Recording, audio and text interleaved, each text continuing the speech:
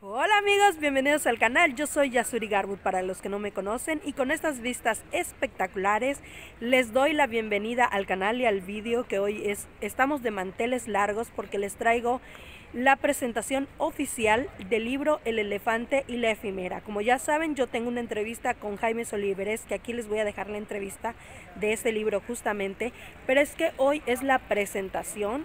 Eh, todavía seguimos en pandemia, pero en, en Málaga ya se puede salir, ya se pueden reunir y eh, la Asociación de Escritores de Málaga se reunieron en este hotel para hacer la presentación del libro y también hay otros libros, así que los dejo con el video.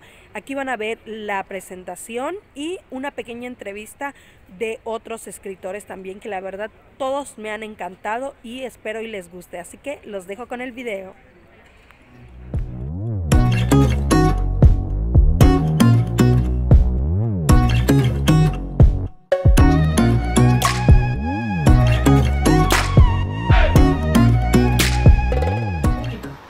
Soy Laura Lozano, soy secretaria del colectivo y bueno, voy a explicar así un poquito someramente para no quitarle tiempo a nuestro compañero Jaime que va a presentar su libro, lo que es el colectivo de escritores. Perdón la mascarilla, pero se me baja. bueno, pues el colectivo malagueño de escritores nació hace año y medio en el impulso de un grupo de escritores malagueños, en concreto 10, que decidimos unir nuestras fuerzas para mm, hacer notar, hacer ver y hacer valer la cultura escrita en Málaga. En fin, no le quito más tiempo a Jaime, ya se sabe lo que es el colectivo y le paso la palabra a él. Bueno, aquí estamos seis autores esta tarde del colectivo, Fernando, Graciela, Jaime, José Ramón y Pepe y yo. Bueno, está también mm, Clemente, pero Clemente viene de público. no quiero dejarte atrás. En fin, le paso la palabra a Jaime y muchas gracias por haber venido.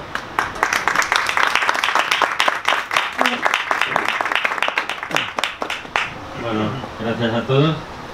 Eh, normalmente cuando, cuando un autor o una autora escribe un libro, sea del género que sea, ya puede ser novela, puede ser poesía, relato, cuento, la intención nuestra es que nuestros libros pues salgan a la luz y que la gente lo pueda leer. De vez en cuando te encuentras alguna, alguna sorpresa, como la que me he encontrado yo esta semana, que resulta de que alguna persona pues te envía un mensaje y te dice, oye, pues tu libro me ha gustado mucho, o en casa nos ha encantado, o es un cuento que te ha llegado al alma. Y entonces es esas pequeñas cosas las que te hacen entender que todo el trabajo que hemos hecho realmente merece la pena. El cuento del elefante y la efímera voy a ser muy breve. Es extraído, está extraído de un libro anterior que se llama La tienda de los objetos perdidos. Fue editado por Alati justamente hace ahora dos años. Eh, la empresa que edita El elefante y la efímera se llama Babidibú, es una empresa eh, sevillana que ha confiado en mi, en mi obra y de aquí, pues si les llegan, también les quiero dar las gracias. Eh, lo importante de este cuento eh, trata sobre el tiempo, las cosas que realmente son importantes en la vida, pero tampoco me voy a explayar demasiado porque prefiero, al igual que los compañeros, que os sentéis conmigo y os contaré un poquito acerca de los personajes, acerca de qué trata el cuento, etc. Sí que me gustaría destacar sobre todo que tiene una ilustración fantástica. Está realizada por un artista, se llama Aida Rivas, y la verdad es que todas las personas que han visto la ilustración pues han quedado encantados. Entonces nada, sobre todo agradeceros y espero que sea la primera pues de tantas. Ahora lo único que, bueno, una gran amiga mía, compañera, le voy a pedir que lea las primeras páginas del cuento para que sepáis un poquito de qué va y después ya lo dejamos directamente cada uno en su, en su mesa bueno, y y esperamos que todos vosotros os animéis, os sentéis al lado de la persona, bueno, al final os sentéis al lado de todos y que le hagáis cualquier tipo de pregunta. Preguntarle sobre el libro, de qué trata, cuándo se le ocurrió la idea. Nosotros estaremos encantados de poderos contestar y bueno, y gracias a todos. Un viejo elefante descansaba en el interior de una arboleda, cerca de una laguna. Era un atardecer de principios del mes de junio cuando aparecieron de la nada cientos de insectos alados revoloteando a su alrededor. En su medio siglo de vida había recorrido cada palmo de la sabana y se jactaba de conocer a cada especie animal que merodeaba sus dominios. Sin embargo, esa era la primera vez que veía esos diminutos insectos y le llamaron la atención. ¿Quiénes sois? preguntó, sin obtener respuesta. Estos insectos de aspecto delicado, de largas colas y alas triangulares y membranosas, seguían su incansable aletear sin atender al elefante. He preguntado quiénes sois, volvió a decir el elefante, esta vez alzando la voz. No tenemos tiempo de hablar contigo, contestaron al unísono dos de estos diminutos insectos que aleteaban a su lado. El elefante, molesto al sentirse ignorado, emitió un fuerte barrito que ahuyentó a la pequeña colonia, dispersándose en dirección a la laguna. No te enfades, grandullón, dijo una de estas formas aladas que había decidido postergar su marcha para darle respuesta. Por supuesto que me enfado, contestó el elefante. ¿A qué viene tantas prisas? Pero por favor, acércate un poco, solicitó extendiendo su trompa. No ando muy bien de la vista debido a mi avanzada edad. El insecto se posó en la parte inferior de la trompa del elefante, plegando sus alas verticalmente al igual que las mariposas. El elefante, curioso, acercó su trompa hasta apenas unos centímetros de sus ojos para observarla más detenidamente. ¿Quiénes sois? Volví a preguntar por tercera vez. Llevo casi 50 años por estos lugares y nunca os había visto. ¿Sois una nueva especie? No, contestó. Somos efímeras y estamos en la Tierra desde tiempos prehistóricos, posiblemente antes que tú. Entonces, ¿cómo es posible que no os haya visto antes? Conozco a cada uno de los animales que merodean estos lugares. Quizá provengáis de más allá de las grandes montañas o del otro extremo del agua salada. No, aquí es donde nacemos y crecemos. Qué extraño, dijo el elefante. Todo tiene una explicación, apuntó la efímera. Pero dígame, ¿quién es usted? Yo tampoco le había visto anteriormente. Eso le perturbó. ¿Quién no conoce al elefante? El animal más grande y fuerte de la sabana africana. Yo soy un elefante pequeña, el animal más grande del mundo conocido.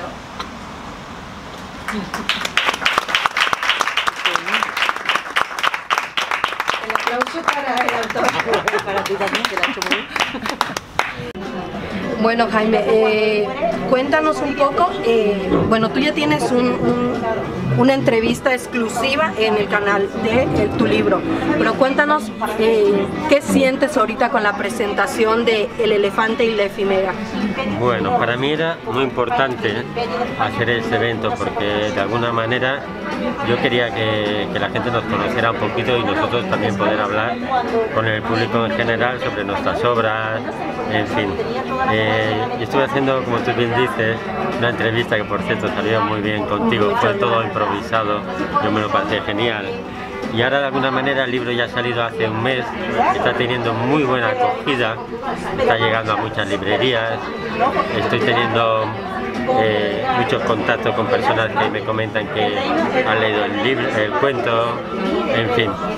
Y lo que quería pues ese es un poquito, hacer este, este programa pues para que la gente pues conozca un poquito a los escritores y escritoras de aquí de Málaga y puedan presentar sus obras. Vale, eh, bueno, eh, yo ya he leído el libro, la verdad es que me encanta. Ah, me gusta mucho. es- tiene una historia muy interesante que habla del tiempo. Sobre Eh, todo. dile- diles a nuestro público eh, algún mensaje, algo que sientas que es lo más importante o lo que más le llega Mm. del libro. Bien, pues aquí lo más importante del libro eh, yo diría que es el contenido que tiene reflexivo, en el sentido Eh, para que te puedas imaginar, eh, Yasuri, hay muchas personas que de niño sueñan que van a ser de mayor. Sin embargo, hay muy pocas personas que de mayor piensan lo que van a hacer de ancianos. Entonces, por eso cuando te haces anciano es cuando te viene la desidia, la desilusión y la desgana. Pues de eso trata un poquito el libro. De esas personas que ya se vuelven adultas y que se piensan que ya lo tienen todo escrito en la vida es una manera de, ver las cosas, es, hacer ver que el tiempo es importante, de manera que una vida sin, sin pasión es efímera. Es, un libro también que habla también de la amistad, ¿no? la amistad es fundamental en el libro, además es una amistad verdadera, una amistad sincera, una amistad en la cual, eh, en este caso la efímera, es capaz de hacer un gran sacrificio por su amigo es una amistad eh, de aquellas que no se olvidan. Eh, todo libro tiene que tener un mensaje, eh, un valor implícito. Es un cuento, va a ir para niños, para, para jóvenes, pero especialmente para niños. Por lo tanto es obligado que tenga valores implícitos que les ayuden a crecer, que les ayuden a pensar. Y en este caso sí que es verdad que el valor es uno de los valores implícitos más importantes que tiene el libro. Que amar es una amistad, ya te digo, verdadera, es una amistad por la cual pues eh, uno de los dos personajes es capaz de darlo todo por el otro personaje. ¿Algo que le quieras decir al público? Bueno, sobre todo agradecerte a ti antes de nada, el que hayas venido, el que estés aquí con nosotros. Yo como bien sabes sigo tu canal, me gusta mucho lo que estás haciendo.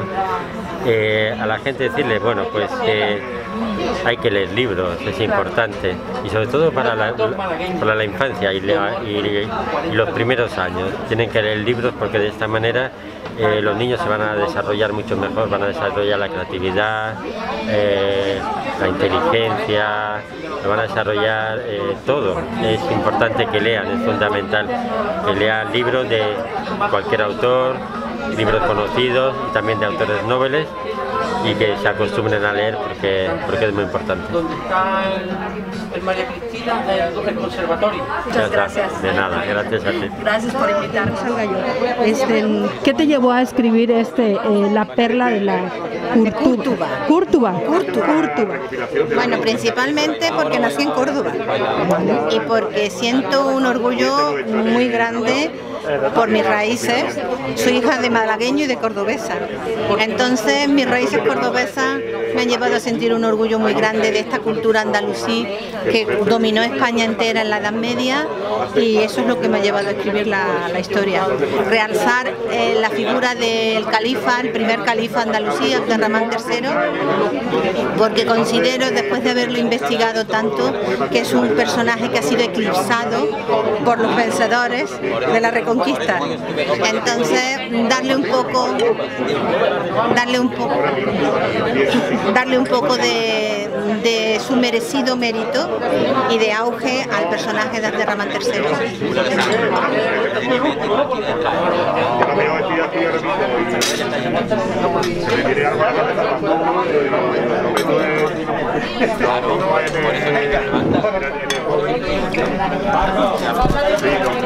Entonces está, ambientada en, Es, una, es una historia que tiene tres hilos argumentales. Uno en el presente, que conduce una arqueóloga, una joven arqueóloga, que tiene una perla que su familia ha heredado desde la época califal. Y esa perla está relacionada con una profecía que se encontró en un cofre en la, en la ciudad palacio de Medina Zahara. Está basada esa profecía en un hecho real. Luego tiene una parte que es un comando yihadista que se forma para robar unos talismanes pertenecientes a Derramán III. Pero en la novela lo que vamos a ver es desde que capta a los jóvenes y cómo los van eh, formando, los van adoctrinando, les van quitando la personalidad y los van empujando a cometer un suicidio en nombre de, de Alá. Es un tema un poco controversial, ¿no? Mucho, mucho y muy duro, muy duro.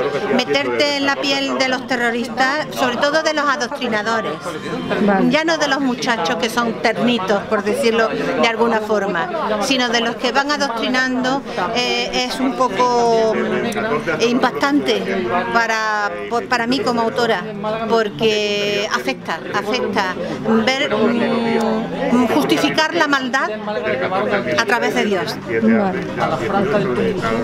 ¿Algo que quieras decirle al, al, público? Bueno, luego, espérate, perdona, es que tiene el tercer, ah, hilo, tercera. tercer hilo conductor, es la investigación policial de la Europol en, en La Haya, que tira de una llamada telefónica que les parece extraña, ahí sacan la madeja, investigándolo todo mucho, mucho, mucho, hasta que intentan evitar lo inevitable. Entonces está como que eh, la novela está dividida en tres, partes, y en tres tiempos. En tres tiempos, sí, porque el arqueóloga lo que tiene son visiones del pasado. Es la forma que he utilizado para poder llevar al lector a la corte de Abderramán III y que lo viva.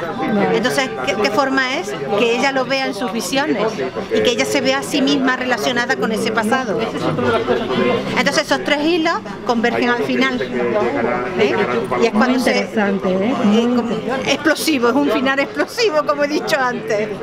Y bueno, muy, muy fuerte, muy fuerte. Y bueno, que merece la pena leerla, que es una historia muy entretenida y que mm, incluso mm, la historia que en ella se cuenta es toda real. Todo lo que son mm, momentos históricos están sacados de la historia real. Tomaste momentos históricos para basar La proclamación de, por ejemplo, la subida al trono de Abderramán III, la proclamación como califa, la, sale la ejecución de uno de sus hijos porque se declaró en rebeldía también. Eh, los problemas entre sus esposas, sus favoritas, en el harén también se toca un poco ese tema. Eh, la única esposa, esposa de Abderramán III, solo tuvo una esposa, los demás eran concubinas y de sangre real, está relacionada con la protagonista. Entonces, y luego eso, la profecía que es auténtica, la profecía que habla sobre la proclamación de y el hilo, el hilo conductor es, este, el conductor es la eh, protagonista. La arqueóloga. La arqueóloga. La arqueóloga empieza. ¿Cómo se llama la arqueóloga? Sara Medina Villarreal. Ah, muy bien, muy bien. Para que tengamos un adelanto al público. Sí, sí, sí, sí. Y se habla de la Córdoba, tanto antigua como la Córdoba moderna, y incluso la Córdoba del siglo XVII, XVIII, porque ella en su investigación para descubrir todo lo que significa esa perla, em, anda por esos temas metidos, y bueno, Córdoba es historia, y en sus calles, en sus edificios, en sus mezquitas, en sus templos, entonces todo eso está en la novela. Vale, muy bien. ¿Algún mensaje que quieras como... Como autora? bueno, pues que la compren, que la lean. ¿Dónde, van, dónde va a estar? Está en Proteo, Prometeo, Proteo está en... ¿Cómo se llama la...? Hola. Agapea, Agapea Está en Agapea y bueno, en las plataformas de Amazon, de Agapea, de Proteo Prometeo, Casa del Libro. De todas formas, yo voy a dejar aquí todo escrito. aparte, por encargo, la lleva cualquier librería. Vale, perfecto. Bueno, muchas gracias. A ti. Vamos la entrevista. Hola Fernando, este, ¿me podrías presentar tu libro? Este, estamos hablando de ese libro, Mejorando las relaciones personales. Cuéntanos, ¿Qué fue lo que te llevó a escribirlo? Bueno, pues el propósito mío al, escribir y publicar Mejorando mis relaciones personales, amistades, familia y pareja, la editorial Leos eh, de Madrid, fue el ofrecer un manual práctico de... Un poquito más fuerte que creo que... Sí, que, es que hay mucho ruido ambiente. Hay mucho ruido. A ver, mejor me voy a acercar un poco más.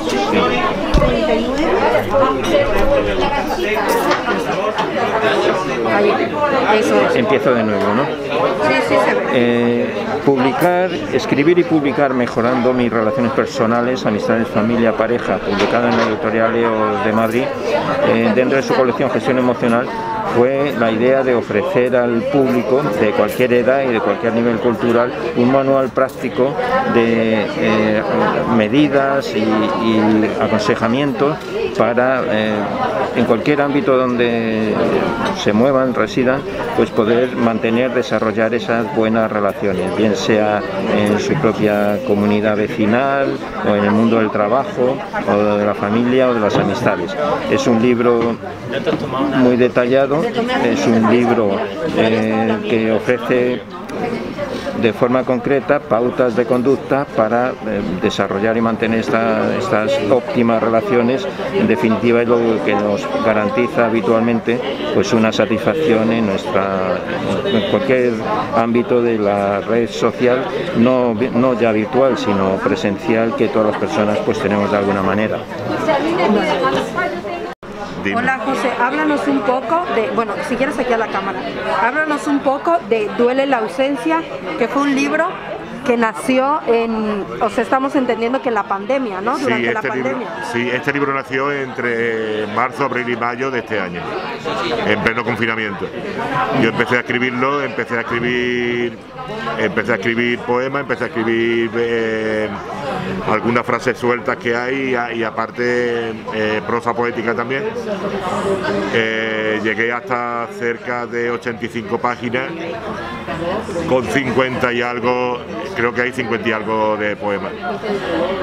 Y a partir de ahí fue me puse en contacto con Editorial Anáfora y Editorial Anáfora le pareció bien y me la publicado. Eh, tengo entendido que habla de, de la, bueno, de, De las de la ausencias, ausencia, sí. de también de disfrutar más la vida, ¿no? Sí, también porque la hipnosis te dice, bueno, que no la veo, No te preocupes, yo la pongo. Pero que sí habla de la ausencia de las personas que se han ido, sobre todo en la primera fase que ha habido tan mala, claro, de lo- la falta de sentimientos que tenemos ahora mismo, que no tenemos sentimiento ninguno porque es que cada uno está en un lado y no nos podemos acercar ni para abrazar, ni para besar, ni para decirnos hola siquiera, no nos podemos dar la mano. Entonces también hablo, hay versos que te dicen que hay cosas imprescindibles como el amor, como es hay una serie de hay un poema muy bonito que dice eso, imprescindible una serie de cosas, de los sentimientos sobre todo. Hay otro poema también eh, que le da título al libro, que es un soneto que se llama Ausencia también. Y qué más quiere que te diga, hay otro son diferentes, son diferentes cosas son diferentes poemas dentro de, eso, de, la falta de, de libertad que tenemos ahora mismo prácticamente y de la ausencia de la gente que se han ido y la gente que se está yendo actualmente porque la gente es que no paran. Y esto no tiene, aquí hasta que no haya una vacuna o hasta que no haya algo, esto no va a parar. bueno, muchas gracias. ¿Qué? Algo que le quieras decir a- a- al, al público del libro, de tu trayectoria, de... Sí, mira, mm, yo le quisiera decir al público, tengo dos libros, que es Inmerso, que esto fue el año pasado, eh, completamente distinto a este, en el sentido que este habla de amor, de desamores, de desencuentros, pero vamos, mayor de sueños y cosas de eso. Y este es de lo que hemos hablado. Yo mi trayectoria, sí, yo escribo desde hace ya muchísimo tiempo. Lo que pasa es que hasta el año pasado no, no pude publicar y publiqué este. Es una recopilación que tengo desde 2014 hasta el 20 o hasta el 19 porque fue el año pasado cuando se hizo. Y este pues en los meses que tenemos tan- que estamos pasando tan tan raro y tan mal. Bueno, y que me gustaría pues, Sí, y sí, que me gustaría que tanto uno como otro se leyera, se comprara y se adquiriera, que fueran y que porque a los dos a los, los dos va a tener los dos va a gustar mucho y y es bueno leer poesía porque la poesía es muy bonita para leer, es muy bonita. ¿En dónde lo podemos adquirir? Inverso en proteo. Inverso en proteo. Eh, duele la ausencia, ahora en unos días se va a distribuir por toda España. Aquí en Málaga también, claro, por supuesto, se va a distribuir en varias librerías que ya iré diciendo por Facebook mm, dónde están y cuándo se distribuye y a partir de qué momento se puede localizar. Vale, perfecto. ¿Algo más que quieras comentar? No, eh, que gracias por hacer la entrevista y gracias por todo. A ti. Es un placer. Gracias, igual. Hola Graciela, bueno, háblanos un poco de tu libro, La senda del jabalí. Este, ¿En qué te llevó a escribirlo o qué te inspiraste para escribir este libro? Bueno, curiosamente, así como me gusta viajar mucho, eh, pasando por la zona de Aragón, de Huesca, surgió la idea de eh, conocer muchos pueblos, eh, grandes, pequeños, pero sobre todo que iban despoblándose. Lo interesante fue que surgió, aparte de la belleza de la zona, que fue lo que más me impactó, sobre todo en la época de otoño cuando fui, y sus colores y los árboles, el prepirineo, que es algo hermoso, me impactó eso junto con el color de sus viñas, y busqué la forma de hilar los pueblos junto con su geografía, con su pasado, con su cultura actual incluso y muchas cosas ancestrales. Y eh, el punto en común que unía un poco todo eso era la actividad de viñas, de las bodegas de la zona. Entonces surgió la idea de crear una familia ficticia donde pasan eh, unos cuantos acontecimientos que van mm, surgiendo cambios en la actividad, en, su hacer, en su relación, sobre todo entre ellos, donde entran parejas, donde entran padres, donde entran tres generaciones que van cambiando de, parecer y de accionar de acuerdo a las circunstancias que va creando el hijo mayor cuando decide irse a, estudiar a una ciudad, dejando la empresa, pero continuándola desde otro punto de vista, que sería más organizativo, la parte administrativa y sobre todo eh, actualizando los métodos. Entonces deja al hermano menor, deja una futura novia con la que no va a ser, porque el hermano la toma, y allí empiezan las transformaciones. De lo que se esperaba que iba a ser, resulta que va cambiando completamente el concepto que tienen de él. Este, entonces tenemos que también incluye, aparte de los paisajes y todo eso de, la historia de España, también incluye una historia de amor. Es la principal, una historia familiar sobre todo. No hay una historia concreta de pareja, no es una historia de, de Romeo y Julieta, no es historia de pareja, pese a que hay varias parejas que se forman y que no, pero sí es una historia familiar de tres generaciones que se van transformando y cambiando y aceptando sobre todo, tanto los mayores aceptando la juventud y sus cambios, como los jóvenes atendiendo los consejos de un padre y de un abuelo incluso, que eh, ha llevado con, sus hábitos de cacería y de conocimiento del animal, como es un jabalí, a eh, llevar un paralelo a la personalidad de sus hijos de sus crías mayor y menor, como son el jabato, la cría mayor, y el rayón, la cría menor. Entonces, eh, el jabalí representa también al, al, protagonista. Exactamente, a uno de por sí al más protagonista, porque el otro no deja de serlo, porque al final se unen las dos historias y terminan siendo casi protagonistas los dos. Lo que pasa que el que va marcando el camino y el que va eh, causando consecuencias funestas o ni siquiera buenas hasta la mitad, es el mayor, que es el jabato. Entonces así es cuando el padre, con sus conocimientos del animal, los va eh, distinguiendo y los va aconsejando, porque él es un hombre de campo. Por eso el, idioma, el, idioma hablado, el, a ver, el léxico hablado es muy simple y muy de campo. Así también hay una cierta evolución a los jóvenes que empiezan a ser ya técnicos, con estudios. Entonces hay toda una evolución de tres generaciones que va eh, tanto los mayores adaptándose a la juventud y la juventud utilizando costumbres ancestrales. ¿Dónde podemos encontrar el libro? El libro se va a encontrar en la editorial eh, Atlantis y pues, próximamente en otras plataformas como será Amazon, Casa del Libro.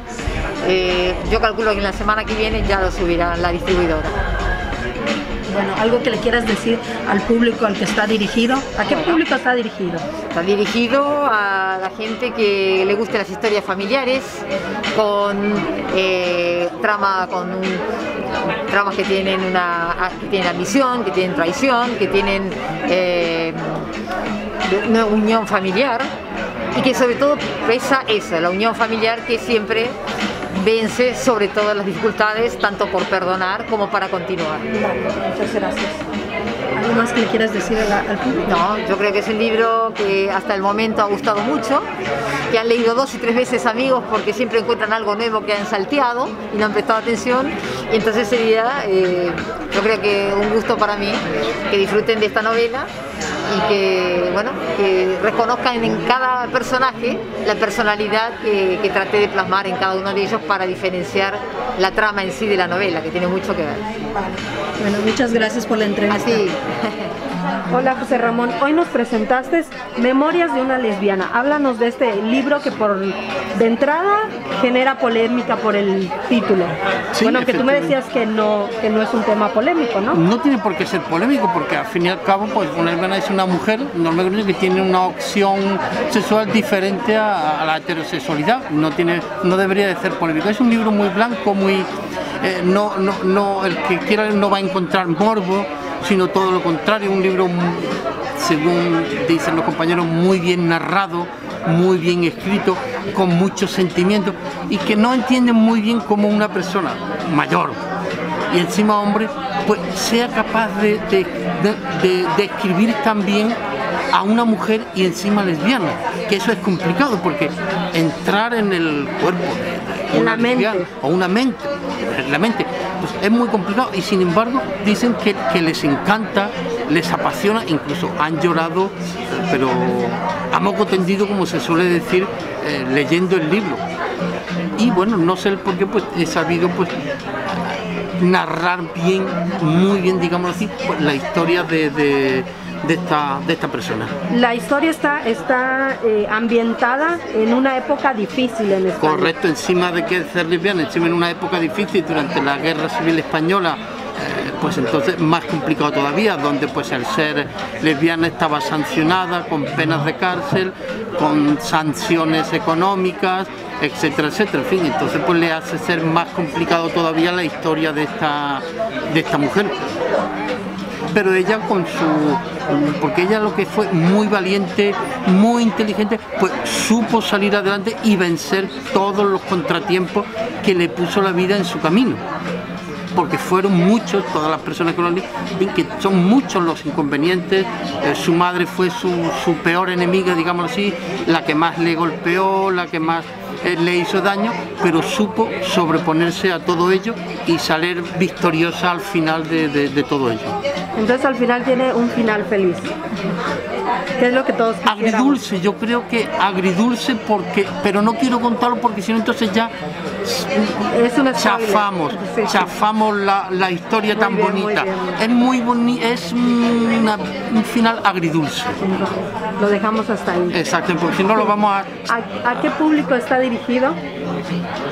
¿O- ¿O está, pues, es para todo público? La, la persona que me presentó cuando fue Mara Marley eh, terminó diciendo un libro el cual todas las mujeres deberían de leer, un libro eh, que todas las mujeres deberían de leer. Está principalmente también para los hombres, para que sepan eh, cómo es una, una- una mujer lesbiana que sepan que no tienen por qué, pues como las insultan o, o incluso las agreden, etcétera, etcétera. Está para el público masculino perfectamente para que no tengan ese comportamiento. Vale, muy bien. Entonces es, es un libro que se mete en la psique de una mujer lesbiana. Correcto. En sus enredos amorosos también, supongo. Sí, sí, más o menos. en, en una época muy difícil. Muy complicada, efectivamente, como es el año 31, principios de la guerra civil española y todo eso. ¿Y, y qué te llevó a escribir ese libro? Cuéntanos. Pues es que como los otros 18, un espíritu maligno que había por ahí fue el que me empezó a escribir sin yo quererlo, porque yo no me planteé y me sentí decir voy a escribir este libro, sino que salió así De la nada. de la nada, efectivamente. Igual que nació el primero así de la nada, después fueron saliendo y otro y otro y otro, hasta 18 libros, pero ninguno estaba pensado, ninguno estaba decir, bueno, pues voy a escribir este libro y me voy a documentar, no, no, no, sino que fue así, del tirón, como se suele decir, y de la nada. Bueno, algo que le quieras decir a la gente. Bueno, que lo lean si quieren, les va a gustar, eh, sobre todo los hombres que van a ver cómo es una mujer lesbiana, cómo es su corazón bondadoso, generoso, culto que lo lean porque les va, les va a encontrar y se va a romper muchos tabúes y perjuicios. Muchas gracias.